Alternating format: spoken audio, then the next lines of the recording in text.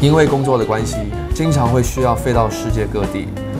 出入机场时，我习惯穿的比较舒适，我会在衬衫外套一件毛衣，搭配九分西裤，相当方便又好看。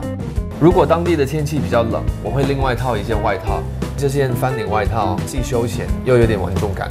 领口的刷毛设计不但保暖又大方，只要简单搭件牛仔裤就非常自在有型。